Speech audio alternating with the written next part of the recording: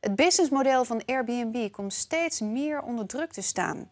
De kritiek op de huizenverhuursite zwelt aan en de stad New York heeft zelfs strenge nieuwe regels afgedwongen bij Airbnb. Amsterdam en San Francisco onderhandelen op dit moment over die regels. Verslaggever, verslaggever Olivia Manders legt uit hoe die regels het businessmodel gaan veranderen.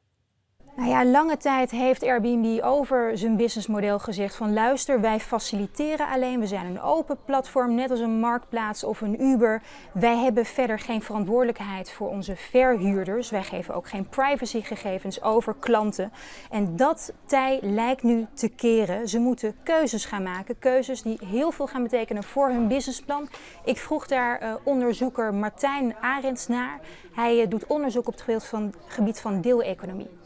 Denk dat ze moeten gaan kiezen tussen de korte of lange termijn. De korte termijn versie is dat zij dus gaan voor het geld en een snelle exit, waarbij ze eigenlijk niks aantrekken van de regelgeving rondom Airbnb in steden, waarbij ze dus ook illegale hotels faciliteren en daar een goed maken. De andere optie is gaan voor een lange termijn duurzaam verdienmodel, waarbij ze ook uiteindelijk echt meewerken met gemeentes, volgens ook een stukje regelgeving inprogrammeren in het platform en daarbij ook bijdragen aan een meer leefbare stad.